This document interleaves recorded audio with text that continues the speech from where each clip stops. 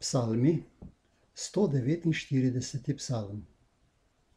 Aleluja, pojte Gospodu novo pesem in njegovo hvalo v zboru njegovih svetih.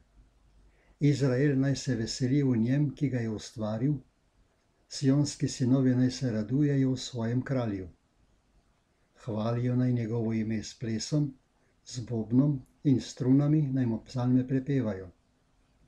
Kaj te veseli se Gospod svojega ljudstva, krotke krasi z veličanjem. Radujejo se naj v njegovi sveti slavi, pojo naj od veselja na svojih ležiščih.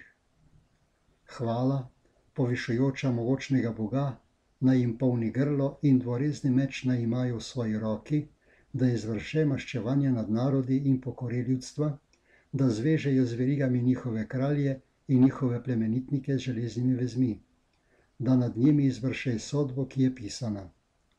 Čast je to vsem njegovim svetim. Aleluja.